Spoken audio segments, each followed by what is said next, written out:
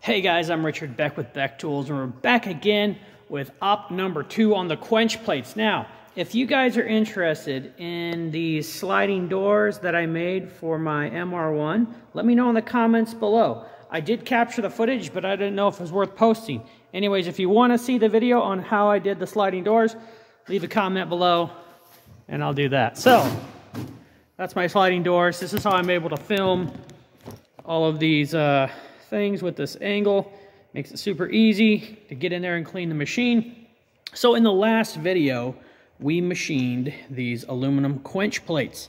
In this video, we're gonna have to slow it down because I have an eighth inch end mill. I have to cut an O-ring groove and I have to um, bore some holes that are gonna get threaded in another operation. Here's the risky part. The slot, not too risky. The fact that it's an eighth inch end mill is you don't really get any warnings before the mill, the end mill snaps. A bigger end mill, you'll hear it and you'll be able to react and a lot of times compensate. If you're off on small end mills like this, they just snap. There's no, like, it doesn't sound bad, it just tick and it's gone. So, um, that's a risk with the smaller end mills. Also, it's aluminum, so you could load those up when you're slotting. Here's the thing this end mill only has 3 eighths of an inch length of cut, but I have to bore a hole 5 eighths deep um, just for the thread. So as long as there's enough room for the chips to get out of the hole, you won't bind up the end mill. So make sure you're not too aggressive if you're gonna do this type of thing, um, basically boring a hole deeper than the flute. Um, because if the chips cannot escape, they will bind and snap the end mill off. So, should be okay. Um, I'm trying to go easy on it, but we're going to go ahead and kick this off. I'm going to let you guys watch the entire thing, and feel free to fast forward throughout this process. If you have any questions about it, leave them in the comments below. Um, let's get rolling.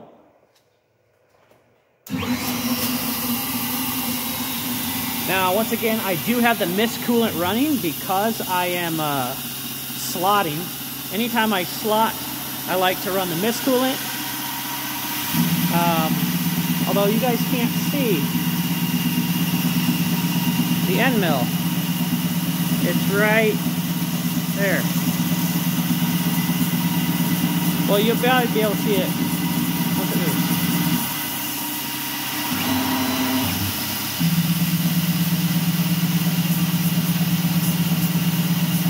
this side over here is a little harder to see. As soon as it moves, it'll become more visible.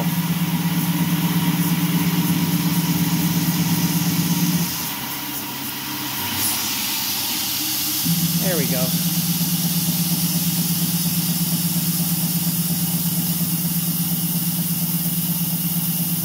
Eighth of an inch, two flute end mill toss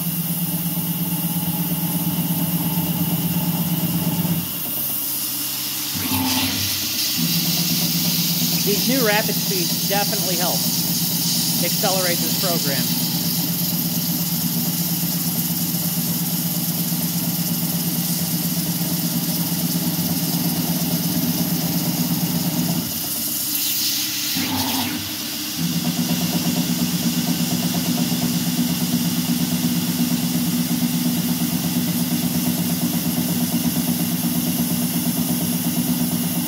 Eighth of an inch end mill. The hole is 140 thousandths, so it's not moving much.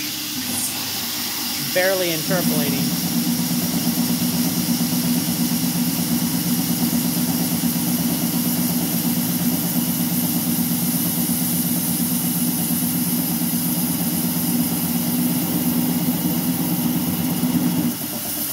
And it's really important that I don't break this end mill because the material alone is almost $60. Um, and the end mill is like 11 or 12. So you break an end mill that you can't get out, they're 70 bucks. And this is a prototype order, so it's not like I'm gonna make enough on this to pay for a screw up on my end. So the stakes are definitely higher. Our mist system is blocking the view.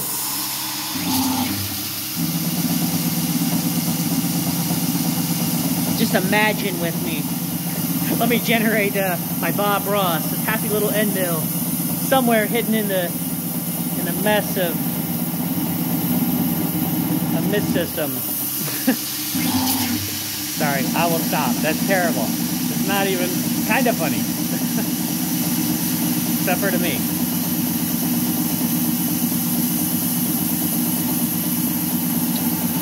Alright, we've got like two more holes and then it's going to go to slotting. Hey, we can see again.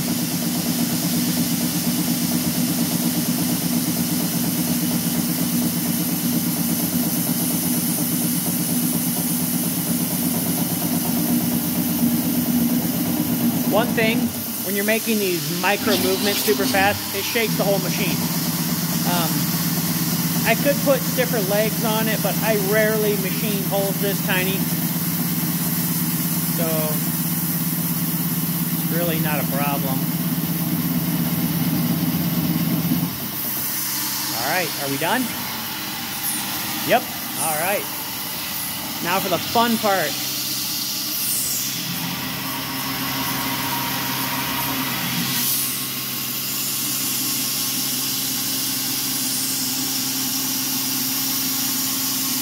15,000 steep, 100% width, so full width slotting, 8,000 RPM, 64 inches per minute.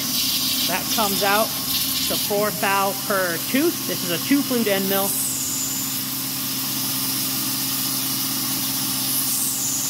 And you really don't want to be recutting chips like I was as much on that last program. So definitely using the air blast without any coolant to try to clean out the slot. It also helps you guys see better because it blows away all of the uh, coolant. The coolant I'm using is just, you know, it's not spraying into the slot. It's because uh, when I do the holes, it would be down too low. Um, thanks for the suggestion about getting a Y for my uh, Loc-Line. I definitely want to do that. I've looked at that for a while. I just some reason, I'm always like, oh, I'll do that, I'll order that tomorrow. And, you know, tomorrow never comes, so.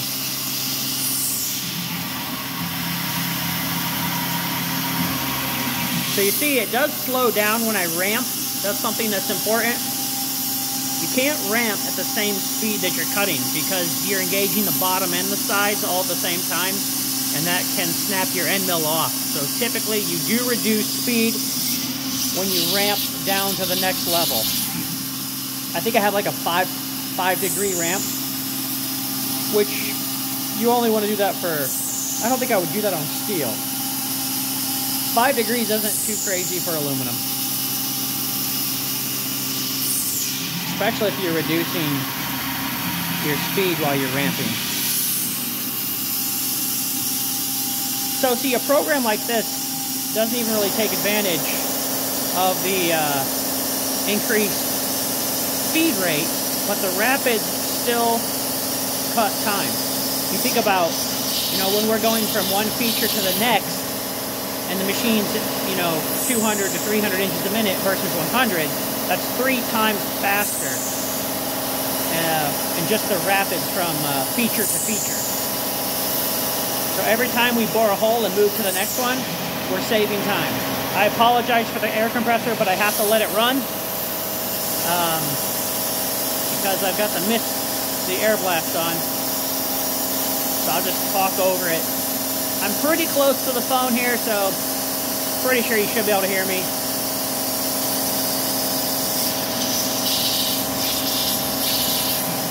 It's crazy. We're, we're removing such a small amount of material, but this program is going to be longer than when we hogged out those big slots and removed a ton of material. Some things you just can't Without more RPMs, I can't go any faster.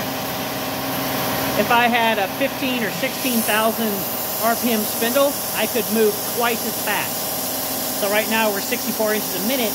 If I had 16,000 RPMs instead of 8,000, I could double my feed rate.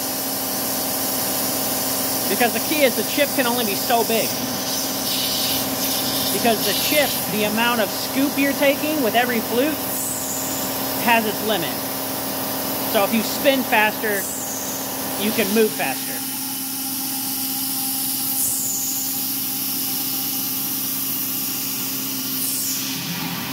Anyways, guys, the rest of the video is pretty much like this. You want to drop off, that's fine. Make sure you remember to give me a thumbs up. That really helps. Yeah, see that? That makes a difference when you hop from feature to feature. Anyways, what was I saying? Oh yeah, if you got anything out of the video, give me a thumbs up. I appreciate it, and it really helps the channel. It tells YouTube to show this content to other people like you.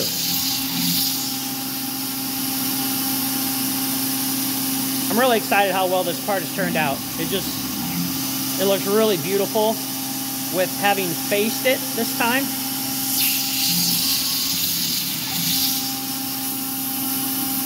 And the nice thing is I don't have to thread mill it this time. I now have the Palmgren uh, or Palmgren tapping arm, so I'll be using that, which will save me time. Because running the thread mill is a decent amount of time invested in every single hole, where just running the tap in and out is going to be way faster.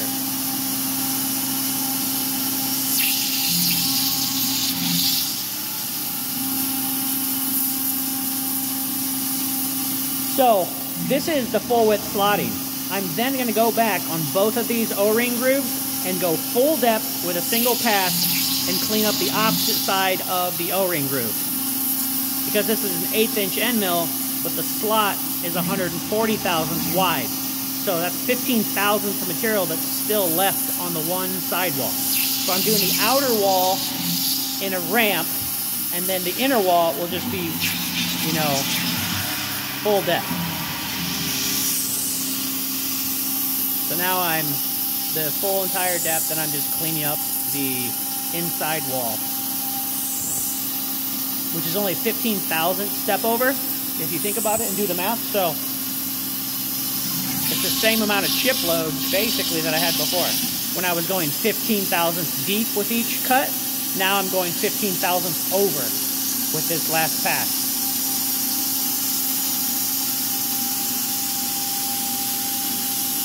The thing about a CNC is it doesn't guarantee you have good parts.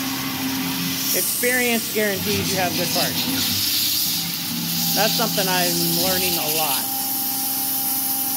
You can have a great CNC and just break a lot of end mills. And if you have bad fixturing uh, practices, you're going to have trash parts. There it is. All done.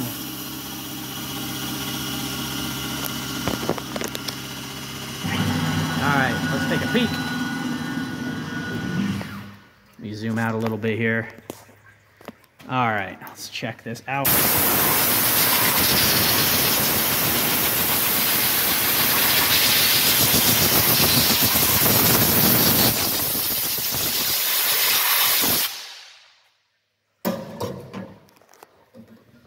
Guys, look at how much, how many chips are in here. This is just this plate and one other plate. This was completely clean before I started.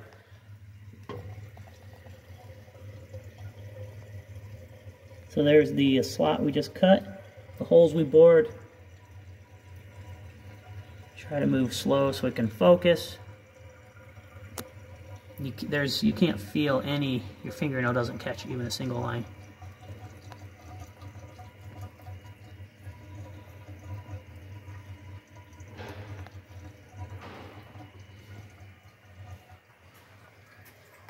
There it is.